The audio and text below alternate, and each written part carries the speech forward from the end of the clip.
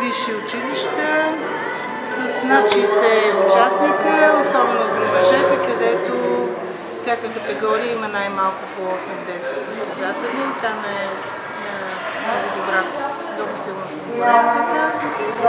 При жените конкуренцията е силна, но са по-малко в брой, защото основно Софийски университет и Национална спортна академия развиват.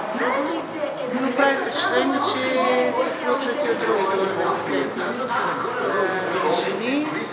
Всички студенти, които са в Пловдив, си участват от уни- университетите, но тренират към клубовите си, както и при мен имам трима студенти, които участват и си от клубовите.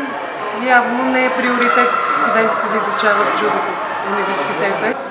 Здравейте, казвам се Стоичко Борислав Трапанлийски, създател по джудо, Пловдивския клуб Арена Спорт Пловдив, възпитаник на спортното училище Васил Левски. Момента завършвам, ставам само държавен изпит. Занимавам се джудо 12-13 години. Е, Радостно е това, че все повече придобива популярност студентското първенство.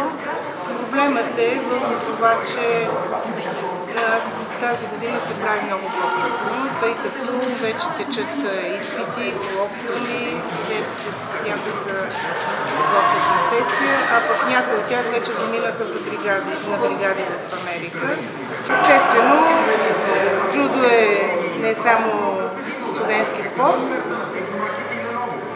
той е и спорт, който развива много качества, морални и етични качества и те се увеличават в самото състезание, което минава в един добър академичен дух.